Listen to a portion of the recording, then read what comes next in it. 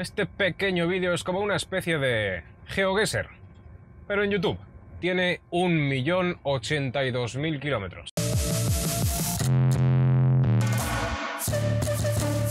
Hola gente, ¿qué tal? ¿Cómo estáis? Y bienvenidos a un atasco en... Y ahí os dejo que vosotros adivinéis dónde me encuentro. No voy a poner especial atención en que no salgan matrículas de los vehículos, así que si tenéis buen ojo y veis alguna matrícula, vais a saber dónde estoy.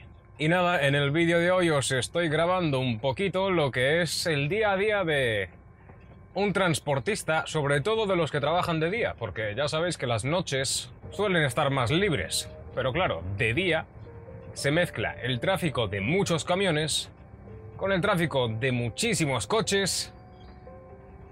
Y el resultado es esto, que estamos todos atascados. Y estamos en una autopista, autovía o lo que sea esto, de tres carriles, límite de velocidad de 100, a lo mejor por el estilo de la señal ya estáis deduciendo dónde estoy. Y que encima si le añadimos que hay obras y nos cortan un carril, pues nada, el resultado que obtenemos es un atascazo. Muchísima matrícula española, como veis, pero pista, pequeña pista, no estamos en España. Y es que esos carteles naranjas que veis por ahí, al menos yo en España no los he visto nunca. Así que los carteles naranjas son una buena pista para que penséis en dónde estamos. Este pequeño vídeo es como una especie de GeoGuessr, pero en YouTube. Sabéis que el GeoGuessr es esta web en la que te metes y de repente apareces en un lugar viendo imágenes como del Google Maps, pero del... Esto que eres el muñequito y estás en la calle y te puedes mover por las calles. Y con un temporizador o algo así, pues tienes que terminar adivinando en qué lugar del mundo estás, si es que estás jugando al GeoGuessr mundial. Porque creo que también puedes seleccionar de solo quiero Estados Unidos, solo quiero Europa o España y América Latina, cosas así. Hay filtros. Pero bueno, en este caso, entre comillas, es el mundo. Ya sabéis que tampoco me puedo ir muy lejos y si vemos matrículas españolas, significa que España está relativamente cerca. Así que nada, me dejáis en los comentarios en qué país estamos, si vosotros habéis estado alguna vez y qué os parece. Otra pequeña pista por si acaso todavía no habéis visto ninguna matrícula y es que ¿Veis el tráfico a mi izquierda? Pues nada, significa que estamos circulando por la derecha, lo que ya descarta un país de la antigua Unión Europea, porque como sabéis ahora ya no forma parte.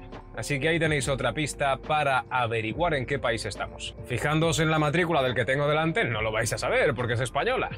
Fijándoos en la matrícula del que tengo a mi izquierda, tampoco porque es lituaniano. Así que, adivina adivinanza. Os cuento también, aunque ya lo habréis visto, que no estoy en el Ibeco. Estamos en... El iconito del grifo echando fuego. ¿Es un grifo? ¿Y eso es fuego o es su lengua? No lo sé. Pero ya no es el Ibequito.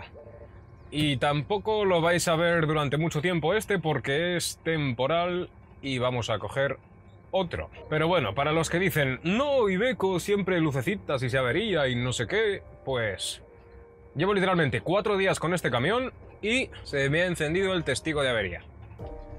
Eso sí, hay que decir a favor del camioncito que tiene 1.082.000 kilómetros. Así que es lógico que le vayan fallando cosas.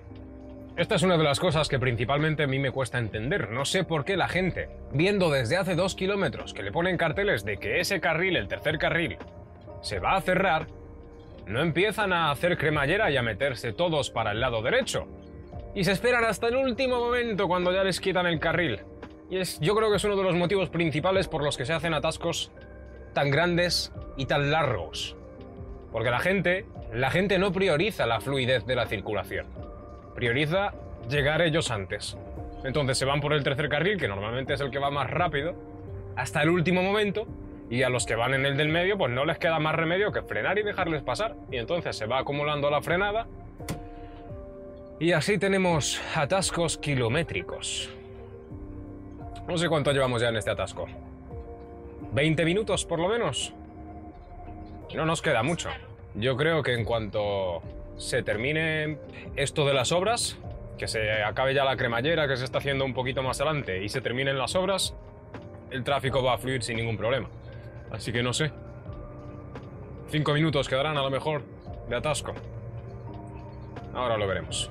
Hoy un cartel que os va a chivar dónde estoy más o menos. La R0 es una carretera de dónde. Yo no entiendo esto. Me están quitando el tercer carril, como veis ahí. Y yo estoy en el primero, en el de la derecha. Pero el siguiente cartel dice que el de la derecha se va a la N3 y yo no quiero ir ahí, sino que quiero ir por la R0. Donde el límite de altura son 4 metros, nosotros como medimos 4 metros, perfecto. Entonces, ¿qué tengo que hacer? ¿Me tengo que echar a la izquierda? Pues la cremallera es doble, tanto el carril derecho, la gente que quiere seguir recto, como el carril izquierdo, que se termina el carril, se tienen que meter todos al del centro. Con razón que tengamos un atasco de la hostia. Bueno, pues supongo que un poquito más adelante lo veremos. O nos vuelven a abrir el carril izquierdo, el tercer carril, y podemos intentar incorporarnos o no sé qué es lo que vamos a hacer. Puede ser que sí, porque más adelante lo que se va a la derecha está todo libre. Vamos a verlo.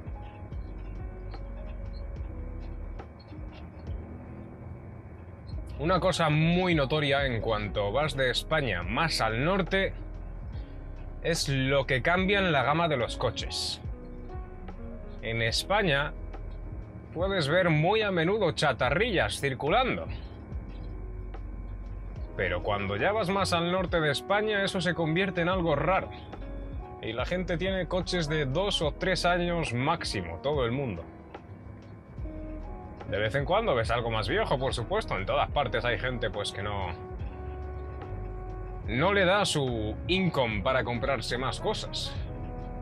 Pero sí es verdad que hay un gran número de personas que les va muy bien y ves muchísimos coches de alta gama.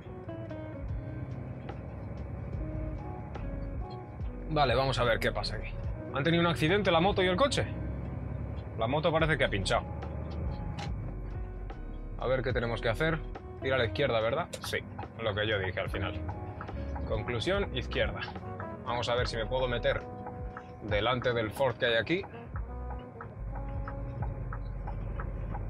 Así que doble cremallera, compañeros. El carril derecho y los que quieren ir a la izquierda. Y el carril izquierdo que lo cortan, todos se tienen que meter en un solo carril. Yo, por cierto, agradezco también a los coches cuando me dejan pasar, no solo a otros compañeros de camiones. Porque todos somos personas, no porque sea camión tienes que agradecer y si es coche no. Y yo supongo que si me ven hacer el juego de los intermitentes, pueden deducir que lo que estoy haciendo es enviarles un agradecimiento. El camión de allá abajo creo que está dubitativo y ha frenado y está generando más retención.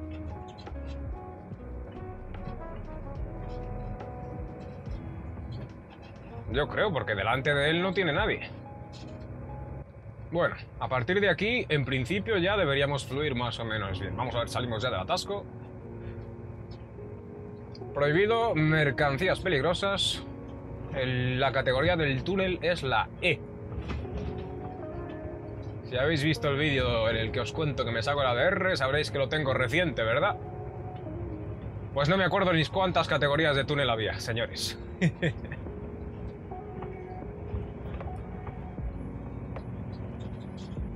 Eso sí, países con muy buen desarrollo económico, la gente tiene muy buenos coches y tal, pero las carreteras dejan bastante que desear. ¿eh? Uno se esperaría que en sitios como estos la mayoría de las carreteras fuesen lo más niveladas y suaves posibles, pero te puedes encontrar tantos baches o más como en España.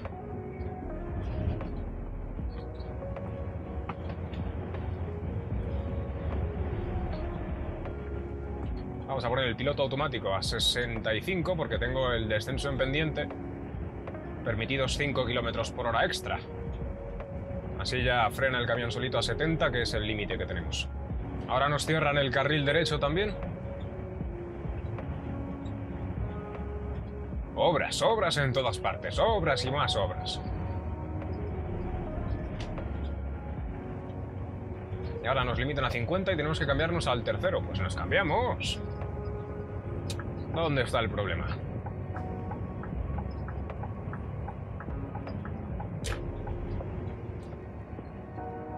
Bueno, los de delante de mí no es que vayan a 50, sinceramente.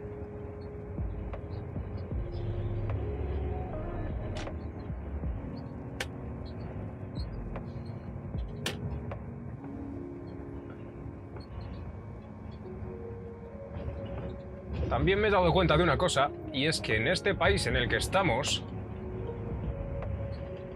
las líneas continuas parece ser que no afecten a las motos, porque se pasan por encima como les da la gana. Sobre todo en las retenciones. Ellos ponen sus cuatro intermitentes y empiezan a pasar entre los coches y por encima de las líneas continuas sin ningún problema.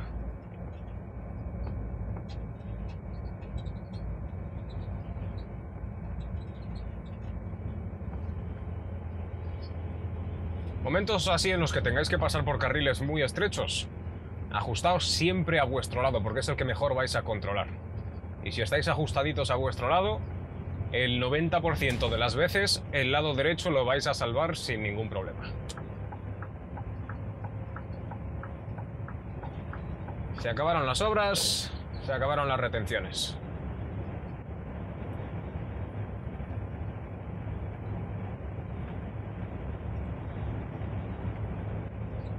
Un Jaguar clásico había ahí parado, ¿lo habéis visto? Pues nada, señores, hasta aquí el atasco del vídeo de hoy y hasta aquí el vídeo. ¿Has adivinado el país en el que estamos? ¿Has visto alguna matrícula que lo haya delatado? Si has escrito Bélgica en los comentarios, has acertado. Y si no, pues prueba en el siguiente vídeo, no pasa nada. Bueno gente, muchas gracias por ver, muchas gracias por haberos quedado hasta este momento y nos vemos como siempre en el próximo vídeo.